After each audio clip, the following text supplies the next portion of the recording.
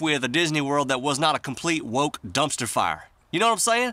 Old Mickey Mouse done took the blue pill, and they're losing money faster than a vegan food truck outside an NRA convention. Nobody wants to see non-binary Mickey Mouse, and ain't nobody want to see Minnie Mouse wearing pantsuits. Families come there to celebrate a tradition that came long before your little pronouns. I guess we should change the name of the ride to It's a Woke World After All, because that'd make a whole lot more sense. Hope you like this song. It's called Done with Disney. Here we go. We used to go see Mickey Mouse till that some bitch went woke. We can't afford no hundred dollar ticket, now we're broke.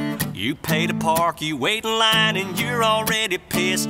Come sit down in a circle, let's indoctrinate your kids. So we don't want your movies, and we don't want your rides. We'll just save all our money, cause the old state fair is fine. Don't need woke ideology, ain't gonna take your class. If Walt Disney was alive, I know he'd probably whoop your ass. Damn, Mickey. You make me mad, mad, mad. Next generation gonna be so sad, sad, sad. You represent the 2% and said to hell with us. Well, I just canceled next year's trip along with Disney Plus. We used to go see Mickey Mouse till that some bitch went woke. We can't afford no hundred dollar ticket, now we're broke.